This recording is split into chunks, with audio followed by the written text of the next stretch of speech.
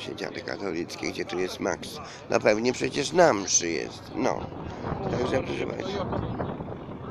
Rybka jest zatruta, woda jest już nie do picia. Moja rybka już. Czekano, że do dziadogady mają tutaj już okazję do pogadania też. Też. Niedzielę msza. Koniecznie. Msza. Msza. No i w białych koszulkach ci y, od biletów, co sprawdzają. Proszę Państwa, jak to w kierunku na Marki, to to wszystko. Marki to już nie jest Warszawa, ale mówią Marki Warszawa. Kontrolę biletów jak na sraczkę.